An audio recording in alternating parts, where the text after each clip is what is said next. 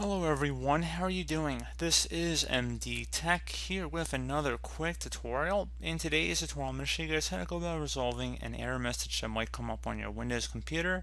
This says the computer does not meet the minimum requirements when installing the graphics driver.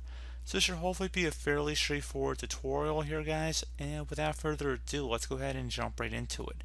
So we're going to start by opening up the Start menu, type in Device Manager, Best match to go back with Device Manager listed right above Control Panel. So go ahead and left click on that.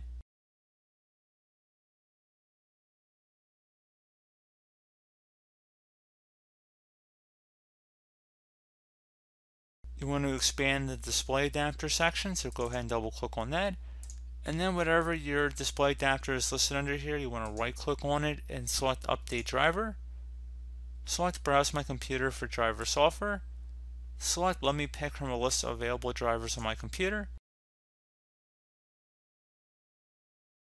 If you have an Intel graphics entry listed under here, you want to go ahead and select that, and then just go select next at that point. Give it a moment here, and it should say Windows has successfully updated your drivers. Select close and restart your system, and that should be about it. So as always, thank you guys for watching this brief tutorial. Do hope I was able to help you out, and I do look forward to catching you all in the next tutorial. Goodbye.